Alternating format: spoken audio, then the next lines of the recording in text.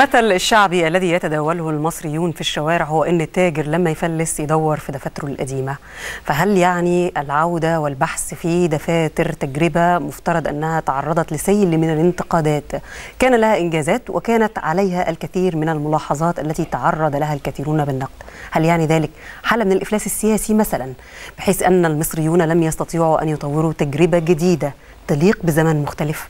هذا هو السؤال الذي أطرحه من جديد على ضيفي الأستاذ أحمد الجمال الكاتب الصحفي والقيادي المصري. يعني حتى حتى حتى لما التاجر بيدور في دفاتره القديمة احتمال يبقى له دين منسي عند حد.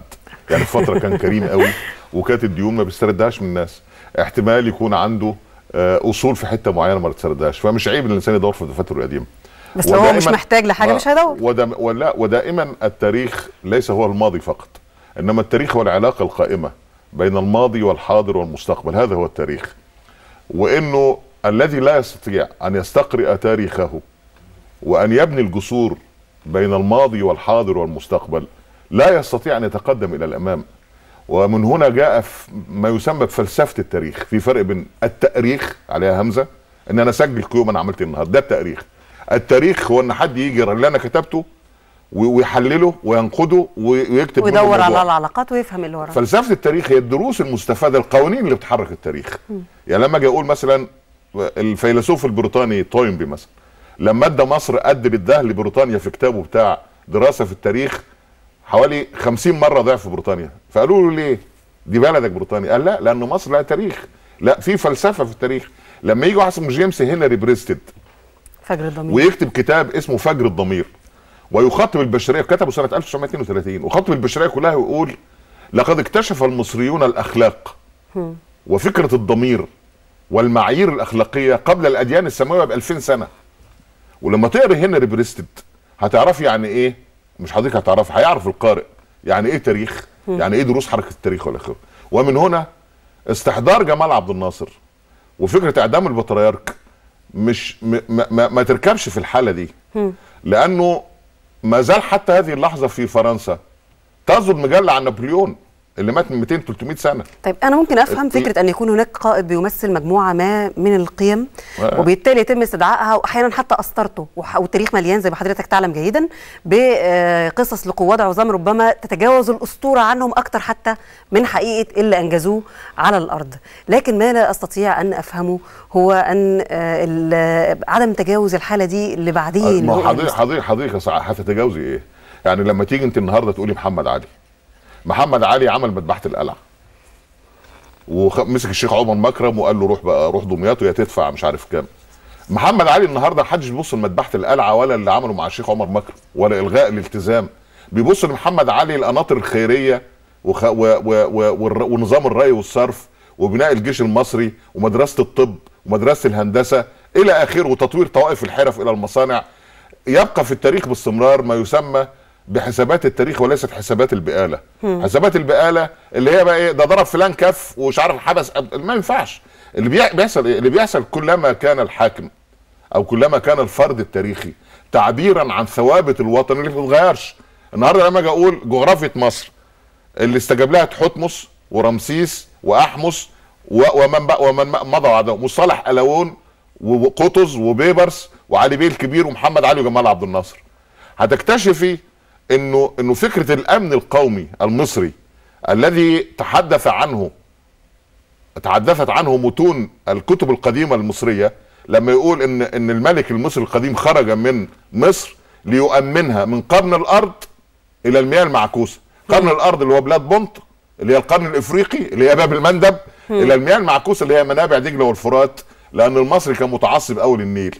كل نهر ما بيجيش من الجنوب إلى الشمال يبقى نهر معكوس. يبقى نهر معكوس. فلما يبقى المصري القديم قبل اكتشاف الجغرافيا السياسية وقبل الجيوبوليتيك وكل الكلام المجعلص الكبير ده يكتشف هذا الموضوع الذي أكدته الأيام وما زال قائما حتى هذه اللحظة إن إحنا امننا من شمال سوريا مش م. من فلسطين. وبالتالي تصبح فلسطين قضية مصرية مش قضية عرب فلسطين. كل هذا هنا هنا كمان بقى بقول إيه؟ بقول إنه عبد الناصر استجاب لهذه المعطيات م. وطور عليها. إحنا مطلوب مننا نطور نعمل إيه دلوقتي؟ المطلوب نطوره دلوقتي إن إحنا نشوف أين أخفق عبد الناصر. لو قلنا أخفق مثلا في ال ال ال ال علاقته بعبد الحكيم عامر والفرد والى آخره نقول إنه لا ينبغي أن تطغى العلاقات الشخصية والصداقة على الصالح العام. وده نحاسب فيه ب ب ب بالدم. لما نيجي نقول إنه في موضوع ال ال ال ال ال ال ال اداره الاشتراكية من غير اشتراكيين زي الرأسمالية اللي اتعملت من غير رأسماليين. هي الرأسمالية المصرية بعد كده اللي عملت التجربة بتاعت ال- الأستاذ حسني مبارك كانت رأسمالية حقيقية مش راسماليه حقيقية. جميل. إنما اللي عايز أوصل له بقى في الآخر كيف نستطيع في تجربتنا المقبلة؟ لو هنعمل نظام اقتصادي معين نحط الناس الصالحين في هذا النظام الاقتصادي بحيث إنه لا يفسدوه زي ما أفسدت الاشتراكية ولا يسرقوه زي ما سرق ما سرقت الراسماليه هذه حتى- الدروس المستفادة حتى نصل إلى هذه النقطة دعنا إن إحنا نتوقف قدام المشهد زي ما هو في مهم. هذه اللحظة إحنا اتفضل. بنعمل كده قطع في طبقة الملفي قطع. آه، آه، قطع آه، قطاع عرضي زي ما بيقولوا أو طولي بنحاول إن إحنا نفهم المشهد ونحاول نفهم تفاصيله في التقرير التالي دعونا نشاهد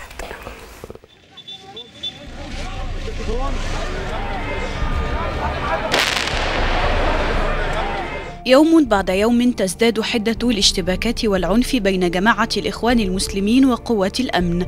أنصار الجماعة لم يكفوا عن التظاهرات حتى الآن، وكل يوم تسقط الضحايا جراء اشتباكات إما مع قوات الأمن أو مع الأهالي الذين يرفضون تظاهرات جماعة الإخوان المسلمين. حدة التظاهرات وعنف المشهد في الشارع المصري لم تمنع السلطات من الاستمرار نحو خطوات خارطة الطريق. فبعد إجراء الاستفتاء على الدستور بدأ الحديث حول الانتخابات الرئاسية. وأعلن الرئيس المؤقت عدلي منصور إجراء الانتخابات الرئاسية أولا قبل البرلمانية. لم يكن في وسع المجلس الأعلى للقوات المسلحة إلا أن يتطلع باحترام وإجلال لرغبة الجماهير العريضة في ترشح الفريق أول عبد الفتاح السيسي. ترشح السيسي أمر طالبت به نسبة كبيرة من الشعب المصري واتفقت حوله بعض الأحزاب وبعض المرشحين الذين انسحبوا من سباق الانتخابات. لكنه في نفس الوقت لاقى تحفظات من البعض وأعلن عدد من المرشحين أنهم سيستمرون في مواجهته في الانتخابات الرئاسية المقبلة. الحديث حول الانتخابات الرئاسية صاحبه حديث عن تعديلات وزارية متوقعة. كما أعلن حازم الببلاوي رئيس مجلس الوزراء أن الوزارات المتوقع تعديلها هم الدفاع والإنتاج الحربي والتعاون الدولي. المناخ السياسي في مصر أصبح متناقضا ففي الوقت الذي تتصاعد فيه أعمال العنف والعمليات الإرهابية نسير بخطوات سريعة في خريطة المستقبل. ومع وجود مصريين مصرين على التظاهرات والاحتجاجات يتواجد مصريون كل أملهم الاستقرار والأمان. إيمان الحويزي قناة دريم.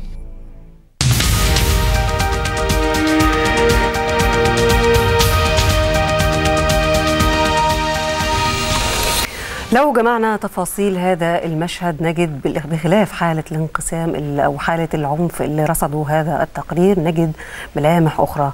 نجد البحث عن مشروع للدولة نجد التنقيب في المشروعات القديمة ونجد أيضا مخاوف من استدعاء ما وسم بعض هذه التجربة من آه، استبداد إنجاز أن نطلق عليه كذلك ومن آه، صعود كهنة وحملة مباخر قادرين على إفساد الأنبياء زي ما بيقول البسطاء. هل لديك نفس هذه المخاوف أستاذ أحمد؟ هي مخاوف قائمة في كل عصر وفي كل مكان. هي مخاوف قائمة ومستمره ولا بد من التنبه إليها. يمكن أنا كتبت عدة مقالات في هذا الموضوع وانتقدت حملة المباخر واللي بيحاول من دلوقتي آه، يلوظوا العمامة زي ما بيقول الفلاحين للحاكم الجديد ايا كان هذا الحاكم الجديد. وأنا أعتقد إن أي حاكم جديد لازم يجي محصن لأنه شاف قدامه آه، اللي حصل. يعني شاف قدامه حاكم بدأ وقال الكفن ملوش جيوب. وإن أنا اسم فلان لا أنا عبد الناصر ولا أنا السادات. وبالتالي أنا مش هتغر لا أنا عندي زعامة عبد الناصر ولا عندي دهاء السادات. أنا زي ما أنا كده. مرة ورا مرة ابتدوا يحاصروه ابتدوا يقفلوا عليه فابتدوا في الآخر يبقى معزول لوحده قاعد على البحر طول النهار ما بيفكرش في حاجة. أنا طبعا هي مخاوف قائمة ولابد من التنبه إليها. بس عدم المبالغة فيها. يعني عدم المبالغة بمعنى إيه؟ بمعنى إن أنا مش لازم أهين الحاكم عشان أبقى ديمقراطي. مش لازم آه، آه، آه، أبقى يعني عمال على بطال بنتقد وبعارض وإلى آخره. إنما لابد أن يكون هناك هدف للمشروع الوطني. على سبيل المثال. ده مش كلام صعب على رجل زي حضرتك قضى الق- القدر الأكبر من حياته وهو في موقع المعارضة إن هو يجي يقول أنا مش لازم أبقى مع- معارض طول الوقت. لا لا مش معارض طول الوقت بمعنى مع- عمال على بطال لما أجي أقول في هدف. لما أجي أشوف الدولة العبريه اللي اسمها العدو الصهيوني عندي ما زالت هكتشف انه العمل والليكود والشينوي والحكمات اللي لابسين طواقي وعاملين ضفاير وقاعدين طول النهار يعملوا كده ممكن يقطعوا هدوم بعض إلا أن الجميع يتفقوا على هدف واحد هو وجود دولة إسرائيل وقوتها وتفوقها على جميع جيرانها. full stop. أنا هعارض من أجل مصر المتماسكة القوية المنتجة المتوازنة اللي فيها ديمقراطية وفيها عدل والتي تلعب دورها في محيطها. ويبتدي تبقى كل مهمتي إن لما مصر القوية أو مصر المتوازنة المتماسكة القوية التي تنطلق لدورها في محيطها في دوائرها الإفريقية والآسيوية والعربية والعالم كله إزاي ما استفزش جهات أخرى عشان ما تحشش وسطي زي اللي حصل قبل كده مع محمد علي وعبد الناصر. دي أول دروس التجربة ده أو ده درس ده درس من محمد علي لعبد الناصر. خلينا إنك لما نتوقف عند اللحظة دي واسمح لي أنا اسف بقاطع. حضرتك لكن أحد الأخبار التي بدأت اليوم على الساحة واللي إحنا بنضيفها لتفاصيل المشهد اللي بنحاول إن إحنا نشخصه اللقاء الذي جمع بين آه، زعيم حزب مصر القوية دكتور عبد المنعم أبو الفتوح وبين السيد عمرو موسى آه، رئيس لجنة الخمسين آه، وكواليس ما دار في هذا اللقاء الموقع الرسمي للدكتور للسيد عمرو موسى. تحدث عن هذا اللقاء لكن التفاصيل التي تم تناقلها عبر وسائل الإعلام أن آه، دكتور عبد المنعم أبو الفتوح أغلق تماما في هذا اللقاء. باب ترشحه الذي عاد ليفتح بعد منذ أيام قليلة وقال إنه لن يرشح نفسه للرئاسة. هل حدث هذا بالفعل؟ آه، بستمع إلى تأكيد أو نفي من آه، السيد أحمد إمام المتحدث باسم حزب مصر القويه أستاذ أحمد اتفضل. مساء فندم مساء النور أهلا آه، وسهلا. إحنا الإطار آه، اللي تم فيه اللقاء هو الإطار الودي اللي بتجمعنا بيه آه، علاقتنا مع كل السياسيين المصريين دكتور عمرو موسى الأستاذ عمرو موسى قبل كده زار الدكتور أثناء فترة مرضه بفتره وكان المفروض إن الدكتور يرد هذه الزيارة في إطار العلاقات الودية والطبيعي جدا إن الحالة السياسية وال- وال- والشأن العام هي ما تشغل بال كل آه، العاملين في السياسة في هذه الأيام وبالتالي تطرق المواضيع للأمور ال- ال- العامة. الدكتور امين ابو فتوح مفيش حاجة في كلامه اتغيرت هو كان صرح قبل كده من فترة آه، طويله يرشح. إنه لا يرغب في الترشح لانتخابات الرئاسة وإنه لا يجد جديد في هذا الموضوع. آه، ولكن إحنا آه، بالتأكيد في متغيرات على الساحة كل يوم في اجتماعات هتتم للهيئه العليا للحزب والمكتب السياسي ومشاورات مع أطراف أخرى آه، قد من خلالها يتم اتخاذ آه، سيتم من خلالها اتخاذ القرار سواء كان بمشاركة بالدكتور عبد المنعم أو غير الدكتور عبد المنعم أو دعم حد من خارج الحزب أو حتى لو لم نرى أن هذه العملية يتوفر لها الشروط أنها تتم في بيئة ديمقراطية طب يعني يعني هذه الزيارة لو كانت زيارة شخصية زي ما حضرتك بتقول أستاذ أحمد ما كانتش حتى تصدرت الصفحات الرسمية لأصحابها زي السيد عمرو موسى. معروف موقف حزب مصر القوية وحزب الدكتور وموقف الدكتور عبد المنعم أبو الفتوح. حضراتكم قطعتم آه، الاستفتاء على الدستور. آه، كان لكم موقف واضح من آه، لجنة الخمسين وبالتالي هل يفهم آه، إن في تغير في هذا الموقف كان آه، محل آه، تشاور في هذه الزيارة؟ لا الخلافات السياسية لا تعني إن إحنا لا تعني القطيعه إحنا طول الوقت بنقابل كل الأطراف وعندنا استعداد نقعد مع جميع الأطراف طول الوقت وده نهجنا طول الوقت ونهج الدكتور عبد المنعم. وبالتالي الزيارة أنا شايفها إنها زيارة في سياق عادي جدا ما فيش فيها أي نوع من ال- التعديلات والتشاور وسماع وجهات النظر الأخرى وعرض وجهة نظرنا دي بالتأكيد حاجة مهمة طول الوقت لازم نعملها ولازم الأطراف السياسية الأخرى تعملها لأن إحنا من وجهة نظرنا إنه لابد إن تجتمع كل القوى الوطنية بغض النظر عن اتجاهاتها أو أفكارها على الخروج من المأزق الحالي اللي بتمر بيه البلد. آه، أما بالنسبة للجزء اللي حضرتك سالت عليه بشكل واضح جدا موقفنا بالنسبة لانتخابات الرئاسة لم يتغير وهنعلن موقفنا إن شاء الله بشكل وبالنسبة واضح للدستور يا أستاذ أحمد؟ خلال أسبوع أو 10 أيام. وبالنسبة للدستور اللي تم الاستفتاء عليه في ظل مقاطعتكم ليه آه، طبعا حضرتك أنت عارفة إن إحنا كنا كانت بدايه بداية عملنا في الدستور إحنا كنا عايزين نشارك ونقول لا واشتغلنا على حملة لا ولكن نظرا للمضايقات اللي تعرضنا لها ونظرا لأنه السلطة كانت ترغب ان يمر الدستور في اتجاه صوت واحد لقينا إن المشاركة في الآخر أصبحت عبثية وإنه ما فيش مساحة للرأي الآخر آه، متاحة وبالتالي آه، لقينا إن العملية مش مش لا لا تعطي انطباع على إنها عملية ديمقراطية تتوافر فيها كل سبل التعبير عن الرأي. إحنا مهتمين جدا إنه انتخابات الرئاسة تجرى في اطر ديمقراطية وأن يتم فتح المساحات لكل مرشحين الرئاسة لعرض برامجهم أن يتم إيقاف حملات القذف والتشهير اللي متوجهة صوب آه، آه، من يفكر في الترشح آه، يتم إن اجهزه الدولة تمتنع عن دعم مرشحين بعينهم. حتى يتم عمل عملية ديمقراطية فعلا تخرجنا من الأزمة الحقيقية. لو قدرنا إن إحنا في انتخابات الرئاسة القادمة نجري عملية استفتاء ديمقراطي بغض النظر عن مين اللي هينجح أو مين اللي هيفشل فيها أعتقد إنه ممكن يحل لنا أزمة كبيرة جدا وما أعتقدش إن موضوع الخيار الديمقراطي ده خيار إحنا مختلفين عليه جميل. أو حد من القوى مختلف عليه. شكرا جزيلا لحضرتك الأستاذ أحمد إمام المتحدث باسم حزب مصر القويه وبرجع مرة تانية لضيفي على الهواء مباشرة وانت تتحدث عن أخطاء مرت بها التجربة. الحقيقة ما أشار إليه الأستاذ أحمد يمثل بخلاف حتى الموقف السياسي المعلن لحزب مصر القوية. مخاوف موجود موجودة لدى قطاع حتى من الذين دعموا 30 يونيو. في تقديرك هل يمكن أن تسير الأمور في اتجاه الصوت الواحد؟ مرة أخرى وهو الانتقاد الأبرز الذي يوجه لتجربة جمال عبد الناصر. يعني شايف إنه ال- التاريخ آه، لا لا لا يمشي القرقرة يعني مشيش لورا. يعني مش آه، آه، احذر التاريخ التاريخ راجع إلى الخلف لا التاريخ مش عربية ملاك يعني لا. كلما أضافت الشعوب لبنة في حائط بنائها بيطلع المدماج بيطلع. آه وحتى إذا حصل له خلل أو اخره إنما المدماج بيبقى موجود. لا أظن من قريب أو من بعيد أن هناك من سيغامر ويضع السوسة التي ستنخر قوائم كرسيه بإيده. لأنه ثبت أن السوسة التي تنخر قوائم أي كرسي ايا كانت الكاريزما على الكرسي هي مصادرة الآخر. ده على اعتبار إن حضرتك افترضت الذكاء والعمدية هنا. لا لا معلش أنا اللي عايز أقوله إنه إنه إنه أنا بفترض في كل الناس الذكاء وحسن الظن بكل الناس. والعبرة في السياسة بما هو معلن. وإذا كان ال ال ال الحد بتاع المرجعية الإسلامية اللي بيتكلم عن الدستور كان لا أنا رحت سطح على الدستور وشفت ناس قالت لا وما كانش فيه توجيه باتجاه واحد حقيقي يعني. وخلينا نحط النقاط على الحروف. يعني عملية إن لا اللي أنا ما شاركش فيه يبقى كخة وطالما أنا ما شاركتش يبقى كله غلط. ده كلام هو ده بقى نقد الديمقراطية. هي دي المعارضة لمجرد المعارضة والمعارضة لمجرد الانتقاد ولمجرد الهجوم. لا كان هناك عملية ديمقراطية والناس دخلت وفي ناس قالت لا في اللجان. في ناس قطعت آه. وبالتالي النسب كانت عالية جدا في الموافقة. لا أرجع بقى للنقطة الأصلية.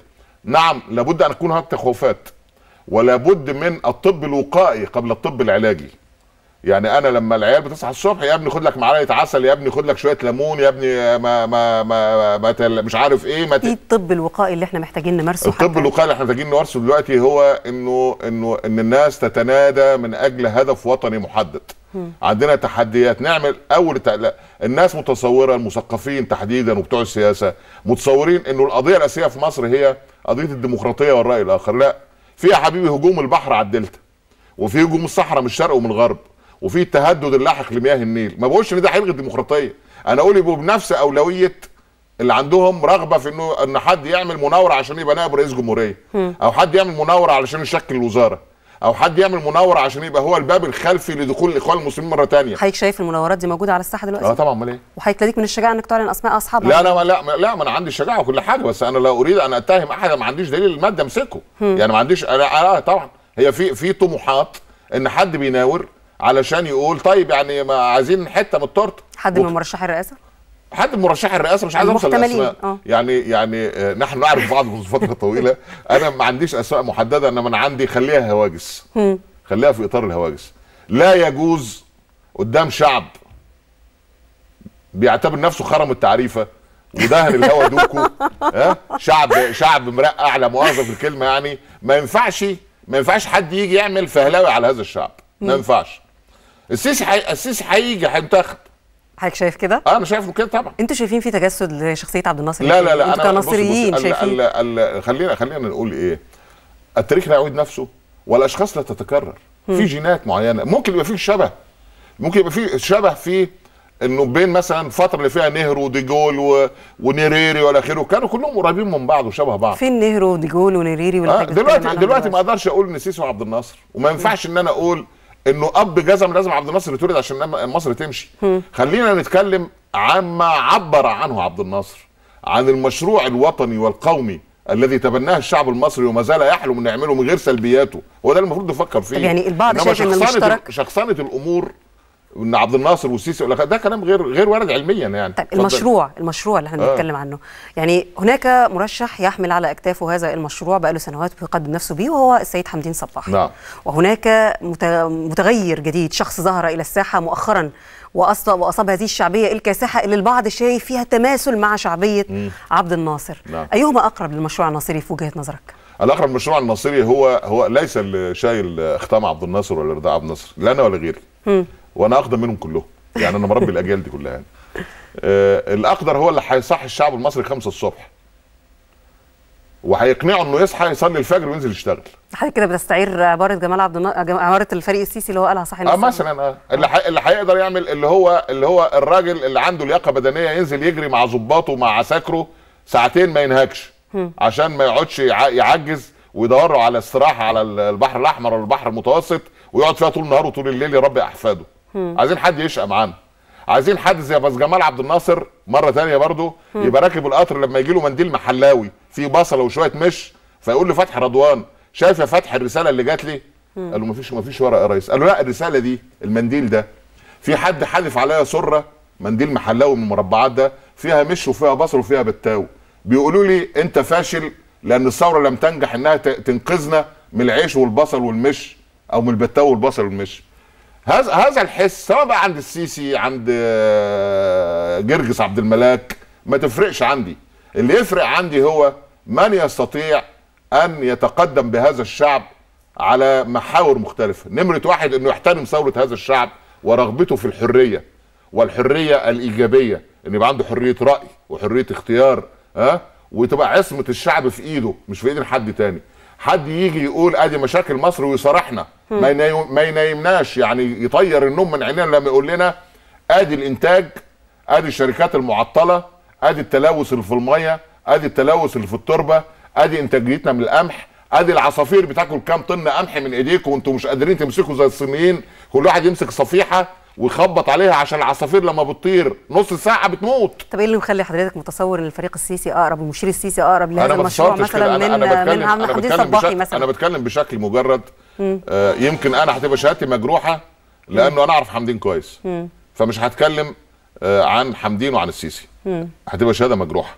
وأنا وأنا اقرب أقرب لمن تتفق حول الجماهير لمن يعبر عن حس الجماهير سواء كان حمدين أو سيسي أو سين من الناس.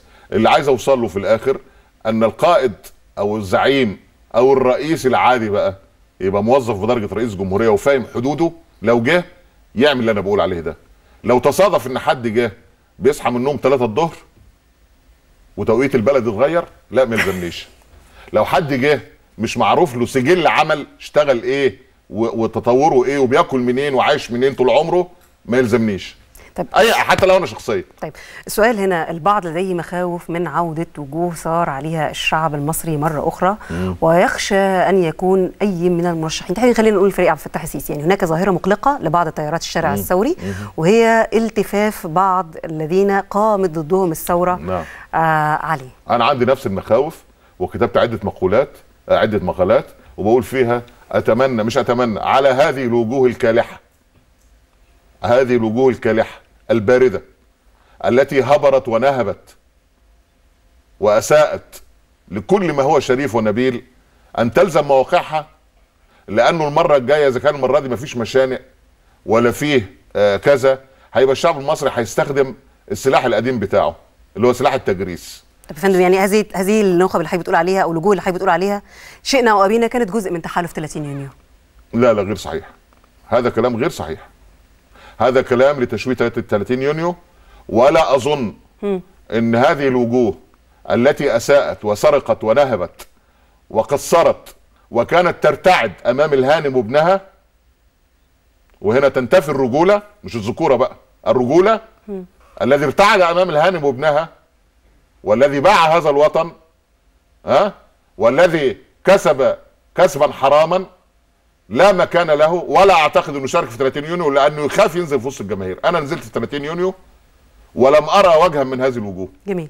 النقطة الثانية اللي بنستدعي فيها التاريخ وبنحاول إن إحنا نفهمه هي نقطة المعركة التي حدثت في الخمسينيات والستينيات بين مشروعين كبيرين مشروع الإخوان المسلمين مم. ومشروع جمال عبد الناصر بكل المعايير اللي حضرتك تحدثت عنه. كما الإخوان المسلمين وقتها كانوا مجرد تنظيم ليس لديهم لا امتدادات دولية ولا تسليح زي الموجود الآن. هل تتصور أن تحسم المعركة بنفس الطريقة ولا عليها أن تجد آليات مختلفة؟ كيف يمكن أن نعيد اللحمة؟ للشارع المصري. هو اللي عايز أقوله إن الاخوان المسلمين طول عمرهم ما عندهمش مشروع. المشروع يعني جوانب اقتصادية واجتماعية وسياسية وثقافية وحضارية. إذا كان المشروع هو الوثوق إلى كرسي الحكم ما يبقاش مشروع. يبقى شكل من أشكال الطموح الذاتي لتنظيم أو لجماعة إنها تثب إلى الحكم. عشان تحقق بتاع لما أنا لما أجي أشوف التركيبة الاقتصادية هكتشف إن هم من اردى اسواق الرأسمالية. شركات الصرافة الشركات الريعية تجارة نص الجملة التوكيلات الخارجية. نجيب شوية أكل من الصين ولا من تركيا ونبيع للناس. أرخص شوية بس لما هنبيع كتير هنكسب. قولي لي على مشروع واحد. إنتاجي أو إنتاجي أو تحويلي ها؟ أو استثمار في ما هو ثقيل في هذا الوطن. طب لكن الجانب الآخر وهي جوانب أخرى أضيفت للمشهد العنف آه. والكثرة العددية والتوغل والامتدادات الدولية. إزاي ما- يتم التعامل؟ هو؟ شو ال ال أظن أظن أظن إنه إنه إنه الجسد الحي المصري قادر إنه يجدد خلاياه وقادر إنه يلفظ السموم. وهياخد فترة. زي بالظبط اللي يكون دخل جسمه كوكايين أو هيروين أو أو أي حاجة من الإدمان. بيقعد شوية الكبد تعبان وبيحصل شوية نزيف بيحصل كذا. بس التعافي بيبقى تراكمي. التعافي تراكمي. عندما كشف الأمر وكشف الغطاء عما عما عمن يظنون أنهم امتلكوا الحقيقة المطلقة وعن أصحاب المرجعية التي تتستر باسم الدين أنا أظن إنه لن يضحك على الشعب المصري مرة أخرى. التأكيد على ذلك إني لا أظن أن احدا من الشعب المصري من الكتل الكبيرة ايا كان وعيه يقبل باللي بيحصل من حرق وتدمير وخراب بيوت وإطلاق نار. محدش في الدنيا هينبسط لما أولادنا يموتوا في سينا أو لما ظباطنا يموتوا في تقاطعات الشوارع. أو لما نبقى كلنا قاعدين. مع الأسف الحقيقة المرة إن البعض فعلا بينبسط ويهلل ويحرض على ذلك. ودي مسألة الحقيقة أنا عايزة أستمع لتح... لرأيك. بخاوف من أن بعض أيا كان العدد حتى لو كان قلة سيربي أبنائه على احتكار وكرا... احتقار وكراهية كل ما تربينا على تقديسه من وطن وعلم ونشيد و... آه وجيش وكل ذلك. كيف سيتم التعامل مع هذه الظاهرة في رأيك؟ هيتم التعامل في ظني أنا إنه إنه التعامل يتم على مراحل. المرحلة الأولى هي مرحلة تقوية الأجزاء السليمة في الجسد المصري. نبتدي نقوي أجزائنا السليمة.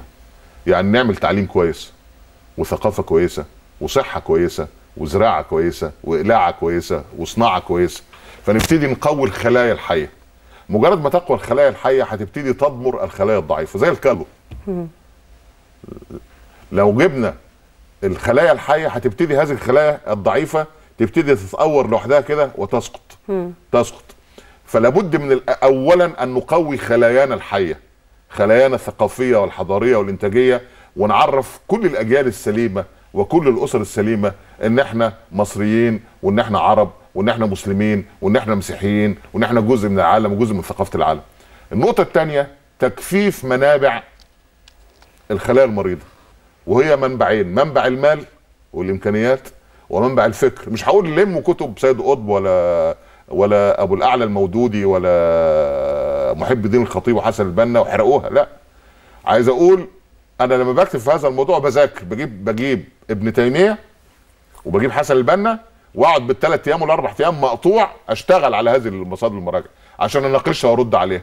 لابد من مواجهة فكرية. مواجهة فكرية وتكثيف هذه المنابع الفكرية ويبتدي برامج الدراسه نمر نمرة ثلاثة إن إحنا نطور برامجنا الدراسية بقى. صحيح. يعني زي ولادنا المفروض تتعلم التعاون مع الآخر.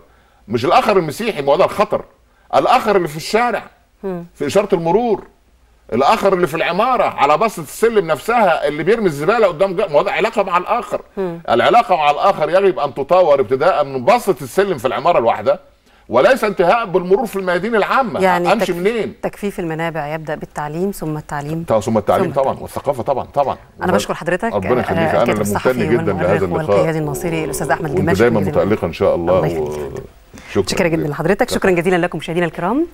غدا يوم آخر في مصر. إن شاء الله يكون يوم أجمل. حتى ألتقيكم فيه هذه تحيات فريق البرنامج وتحياتي منى سلمان. إلى اللقاء.